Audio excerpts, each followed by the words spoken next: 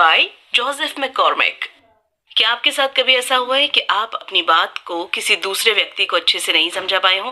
क्या आपकी बात सुनकर लोग बोर हो जाते हैं या फिर कोई आपके ऊपर ध्यान ही नहीं देता है? आज के वक्त में हमारे आसपास इतनी जानकारी है कि हम हर किसी पर ध्यान नहीं दे सकते। इसीलिए अगर आप कुछ बोलना शुरू करें और कोई आपके ऊपर ध्यान ना दे तो इसमें कोई हैरानी वाली बात नहीं है। सवाल ये है कि ऐसे हालात में अगर आपको एक प्रेजेंटेशन देना हो, एक स्पीच देनी हो, या फिर अपने ग्राहकों का ध्यान खींचने के लिए एक ऐड करना हो तो किस तरह से आप उनका ध्यान खींच सकते हैं? इस तरह से आप उन्हें बोर होने से बचा सकते हैं? ये किताब हमें इसी सवाल का जवाब देती है। ये किताब हमें बताती है कि आज के वक्त में अपनी बात को कम शब्दों में कहने की ज़रूरत क्यों है? और किस तरह से आप ये कर सकते हैं? इसे पढ़कर आप सीखेंगे। आज के वक्त में कम शब्दों में अपनी बात को कहना क्यों ज़रूरी है? किस तरीके की मदद से आप मुश्किल कॉन्सेप्ट को आसानी से समझा सकते हैं? सोशल मीडिया पर अपने लोगों से अच्छे से बात करने के लिए आपको किन तरीकों का इस्तेमाल करना चाहिए? पहला सबक, आज के वक्त में लोगों का ध्यान पाने के लिए अपनी बात को कम शब्दों में कहिए। आज के वक्त में हमारे पास इतनी सारी जानकारी है कि हम उनमें से ज़्यादातर चीज़ों को अनदेखा कर देते हैं। हम इतनी सारी जानकारी अपने दिमाग में नहीं रख सकते। इसके साथ ही हम एक चीज़ पर लंबे समय तक ध्यान नहीं लगा कर रख सकते। एक रिसर्च में ये बात सामने आई है कि अब हमारा ध्यान सिर्फ़ आठ सेकंड में भटक जाता है। इसका मतलब है कि अगर आप अपनी बात को आठ सेकंड के अंदर कहने की कोशिश नहीं करेंगे तो फिर उसके अंदर लोगों को कुछ ऐसा नहीं बताएँगे जो उनके काम का हो तो वो आपको छोड़कर कहीं और चले जाएँगे। एटलेसियन नाम की एक सॉफ्टवेयर कंपनी के हिसाब से आज एक व्यक्ति को एक हफ़्ते में 304 ईमेल आते हैं। इसके अलावा कियर काउफील्ड और बायर्स की रिपोर्ट की माने तो एक व्यक्ति एक दिन में 150 बार अपना फ़ोन इस्तेमाल करता है। इसका मतलब हर आठ मिनट में अपने फ़ोन की वजह से हमारा ध्यान भटक रहा है। इसीलिए आज के वक्त में लोगों तक अपनी बात को कम शब्दों में पहुंचाना बहुत ज़रूरी है। लोग आज के वक्त में अपना धीरज खो रहे हैं। वे चाहते हैं कि हर काम तेज हो। उनकी फोकस करने की क्षमता कम हो रही है। इसीलिए उनका ध्यान पाने के लिए आपको कुछ ऐसा करना होगा जिससे वो आपको सुनने के लिए राज़ी हो जाए। इसके लिए आपको एक ऐसी हेडलाइन इस्तेमाल करनी होगी जिससे लोगों की उत्सुकता बढ़े और वे उसके बारे में और जानना चाहें। लेकिन लोगों का ध्यान पाना इतना ज़रूरी क्यों है? बिज़नेस में, अगर आप अपने इन्वेस्टर्स का ध्यान खींच कर उन्हें कम शब्दों में ये नहीं समझा सकते कि उन्हें आपकी कंपनी में क्यों इन्वेस्ट करना चाहिए तो वो आपके साथ बिज़नेस नहीं करना चाहेंगे। अगर आप ग्राहकों का ध्यान नहीं खींच सकते तो आप उन्हें अपने प्रोडक्ट नहीं बेच पाएँगे। कामयाब लोगों को ये बिल्कुल पसंद नहीं है कि कोई उनका समय बर्बाद करे। इसीलिए, जब उनसे बात करने के लिए भी आपको कम समय में काम की बात करना आना चाहिए। इसीलिए ये कला सीखने की ज़रूरत हर किसी को है। दूसरा सबक, जब हम किसी टॉपिक के बारे में बहुत ज़्यादा जानते हैं तो हम उसके बारे में बहुत बोलते हैं। हम सभी को बोलना इतना ज़्यादा अच्छा लगता है कि हमें पता ही नहीं लगता कि हम कब ज़्यादा बोल रहे हैं। अगर आप एक एक्सपर्ट हैं और आप एक टॉपिक के बारे में कुछ ज़्यादा जानते हैं तो आप हर एक सवाल का जवाब इतनी गहराई से देने की कोशिश करेंगे कि सामने वाला उब जाएगा। तो आपके एक्सपर्ट होने का फ़ायदा क्या? अगर आप सामने वाले को साफ़ साफ़ जवाब ना दे सकें। ऐसा ही कुछ होता है जब हम बहुत अच्छा महसूस कर रहे होते हैं। क्या आपके साथ कभी ऐसा हुआ है? कि आपका एक दोस्त आपके साथ बात करना शुरू करता है? और आपको पता ही नहीं लगता कि समय कब बीत गया? वो इसीलिए क्योंकि इस समय आप अपने दिमाग की सारी बातें करने में लगते हैं। एक के बाद एक चीज़ आपको याद आती रहती है। अपने बहुत से बात करते वक्त बहुत से लोग नर्वस होते हैं। इसीलिए वे उनसे अपने दिमाग में आने वाली हर बात नहीं बोलते। यहाँ पर बोलने से पहले वो सोचते हैं और सही शब्दों का इस्तेमाल करके बोलते हैं। अच्छा महसूस करते वक्त हम ज़्यादा तो बोलते हैं, लेकिन जब हम कंफ्यूज होते हैं, तब भी हम ज़्यादा बोलते हैं। बहुत बार ऐसा होता है, जब हम बोलने से पहले सोचते नहीं है, जिसका नतीजा ये होता है कि हम बोलते हुए सोचने लगते हैं। जब क्लास में एक बच्चे से अचानक से एक कॉन्सेप्ट को समझाने के लिए कहा जाता है तो वो उसका जवाब लंबा देता है और साफ़ साफ़ अपनी बात को नहीं कह पाता। ऐसा इसीलिए क्योंकि उससे वो सवाल अचानक से पूछा गया था और अभी उसने उसका जवाब अच्छे से नहीं सोचा है। इसी वजह से वो बोलते हुए सोच रहा है और अपनी बात को साफ़ साफ़ नहीं कह पा रहा। इसीलिए अगर आप किसी बात को समझाने से पहले उसे अच्छे से सोच लेंगे तो आप उसे कम शब्दों में कह पाएँगे। लेकिन बहुत सी चीज़ें होती हैं जिन्हें समझाना बहुत मुश्किल होता है। एग्ज़ाम्पल के लिए एक कंपनी का प्रोसेस अगर एक ग्राहक को ये जानना हो कि उसका ऑर्डर आने में इतना समय क्यों ले रहा है तो आप उसे अपनी कंपनी का पूरा प्रोसेस समझाने लगेंगे तो वो उब जाएगा। इस तरह के हालात में या तो प्रोसेस को आसान बनाइए या फिर जवाब को अलग बनाइए। तीसरा सबक, पाँच स्टेप्स की मदद से आप एक मुश्किल कॉन्सेप्ट को आसानी से समझा सकते हैं। तो किस तरह से आप एक मुश्किल कॉन्सेप्ट को आसान बना सकते हैं, इसके लिए आप ब्रीफ माइंड मैप का इस्तेमाल कर सकते हैं। इसके पाँच हिस्से होते हैं। और हर हिस्से पर ध्यान देकर आप अपनी बात को लोगों तक साफ़ साफ़ पहुँचा सकते हैं। इसका मतलब बैकग्राउंड से है। इसमें आप लोगों को ये बताते हैं कि आप जो बोल रहे हैं, उसे बोलने के पीछे की कहानी क्या है। ये बताइए कि वो बात कहाँ से निकल कर आ रही है।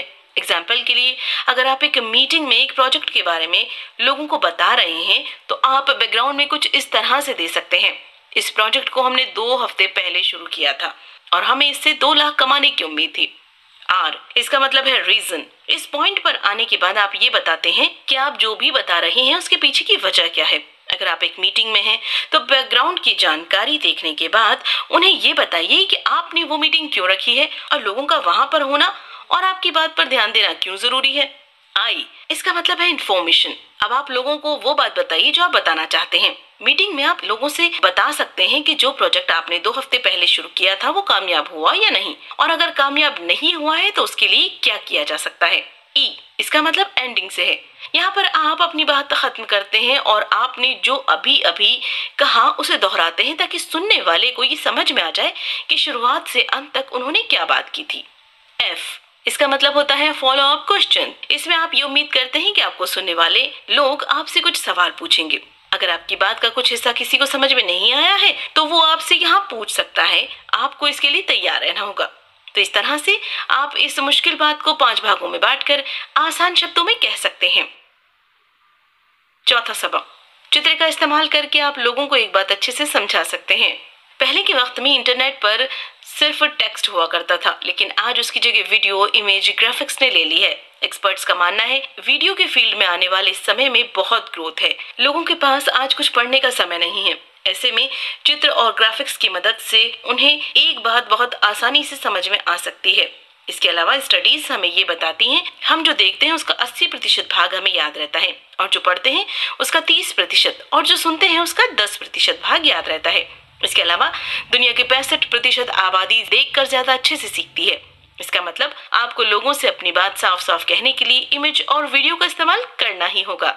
अपनी बात को ज़्यादा अच्छे से कहने के लिए आप इन छह चीज़ों का इस्तेमाल कर सकते हैं। Infographic video chart videograph chart illustration और एनिमेशन इनका असर हमारे दिमाग पर शब्दों से ज़्यादा होता है। यूएसए टुडे के फाउंडर अल न्यूहॉर्थ ने एक नए तरीके का न्यूज़पेपर निकाला। उन्होंने छोटी कहानियों की मदद से और बहुत सारे चित्रों की मदद से अपने न्यूज़पेपर को पढ़ने में बहुत आसान बना दिया। इस वजह से जिन लोगों के पास पेपर पढ़ने का कुछ ज़्यादा समय नहीं था, वो उसे पढ़ने लगे और उन्हें इसमें मज़ा आने लगा। पांचवा सबक। अच्छी कहानी की मदद से आप लोगों के साथ बेहतर तरीके से जुड़ सकते हैं। कहानियाँ हर किसी को पसंद है। और जब आप इनकी मदद से लोगों को कोई कॉन्सेप्ट समझाते हैं तो लोग आपके साथ बेहतर तरीके से जुड़ सकते हैं। साथ ही, कहानियों की मदद से समझाई गई बात लोगों को लंबे समय तक याद भी रहती है। कहानियाँ बनाने के लिए आपको एक मेन पॉइंट खोजना होगा, जिसके आसपास आप अपनी कहानी बना सकते हैं। आपको सबसे पहले ये सोचना होगा कि आप उस कहानी की मदद से लोगों को समझाना क्या चाहते हैं? उस मेन पॉइंट को बीच में रखिए और उसके चारों तरफ़ वो बातें बताइए जिससे लोग उसे आसानी से समझ सकते हैं। एग्ज़ाम्पल के लिए, जब स्टीव जॉब्स आईफोन को लॉन्च कर रहे थे तो उन्होंने प्रेजेंटेशन को बहुत मज़ेदार तरीके से लोगों के सामने रखा। उनका मेन पॉइंट था आईफोन की खूबियों को लोगों के सामने लाकर रखना। इसके लिए उन्होंने ये कहा कि जो दूसरे स्मार्टफ़ोन है, वो उतने स्मार्ट नहीं है। उन्होंने कहा कि हर एक ऐप को इस्तेमाल करने के लिए एक अलग इंटरफेस चाहिए, लेकिन उन स्मार्टफोन्स में प्लास्टिक के कीबोर्ड लगे हैं जो कि हर ऐप के लिए एक जैसे होते हैं। इसके बाद उन्होंने मार्केट के सारे स्मार्टफ़ोन की कमियाँ पता की तो उन्होंने आईफोन की खूबियों के बारे में बात की। उन्होंने कहा कि किस तरह से टच स्क्रीन के होने से उसे इस्तेमाल करना आसान होगा। उन्होंने बताया कि कैसे आईफोन में एक साथ कई काम हो सकते हैं, जैसे गाने सुनना फ़ोन लगाना और इंटरनेट का इस्तेमाल करना। लेकिन कहानियाँ सुनाते वक्त बहुत से लोग जो गलतियाँ करते हैं, वो है बिज़नेस की कहानियों को, परियों की कहानी की तरह बताना। अपनी कहानी को पुरानी कहानियों की तरह या अंधविश्वास के हिसाब से मत बताइए। इससे लोग आपके ब्रांड के साथ नहीं जुड़ पाते, क्योंकि वो कहानी पहले से ही दिमाग में बहुत सी चीज़ों के साथ जुड़ी होती है।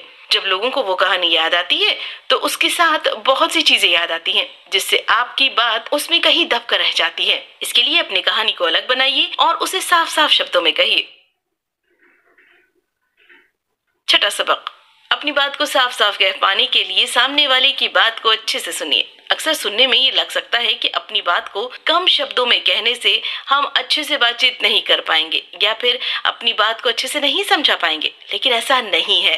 अगर आप उस टॉपिक पर बात करें जो सामने वाले के लिए ज़रूरी है, अगर आप उसे अच्छे से सुने तो आप अच्छे से बात कर पाएँगे। साथ ही बेहतर सवाल पूछने से आप उसकी बात को और अच्छे से समझकर उसका जवाब अच्छे से दे सकते हैं। इसके लिए आपको T A L C method का इस्तेमाल करना होगा। टी टी का मतलब है टॉक यानी कि बात करना। इसमें आप सामने वाले को बोलने दीजिए और उसकी बात को अच्छे से समझने के लिए उससे सवाल भी पूछिए। ए एल इसका मतलब है एक्टिव लिसनिंग मतलब अच्छे से सुनना।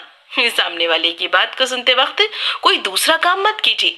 ये देखिए कि वो बोलते वक्त किस तरह के शब्द, किस नाम, कौन सी डेट और कौन से टॉपिक के बारे में बात कर रहा है। इससे आप ये समझ पाएँगे कि वो किस तरह से सोचता है। सी सी का मतलब होता है कन्वर्स यहाँ पर आपको ये ध्यान रखना होगा कि आप टॉपिक को बदलिए मत। जिस टॉपिक पर आपका पार्टनर बात कर रहा है, उससे संबंधित कमेंट कीजिए। जब वो बोलना बंद कर दे तो अपनी बात को साफ़ शब्दों में कहिए। बात करने का मतलब ये समझना कि सामने वाला किस तरह की समस्या से परेशान है, या वो किसका हल खोज रहा है। इसे जानने के लिए आप उसे अच्छे से सुनिए। जब सामने वाला बोलना बंद कर दे तो आप बोलना शुरू कीजिए। सातवा सबक। अपनी बात को कम शब्दों में कहकर आप सामने वाले के समय की इज़्ज़त करते हैं। आज के वक्त में एक सीईओ अपने काम का 60 प्रतिशत हिस्सा मीटिंग में बिताता है। ऐसे में अगर आप अपनी बात को कम समय में और कम शब्दों में कहेंगे तो आप उनके समय को बचाएँगे, जिससे उनका फ़ायदा होगा। आसान शब्दों में, जब आप अपनी बात को कम शब्दों में कहते हैं तो आप सामने वाले को इज़्ज़त दे रहे होते हैं।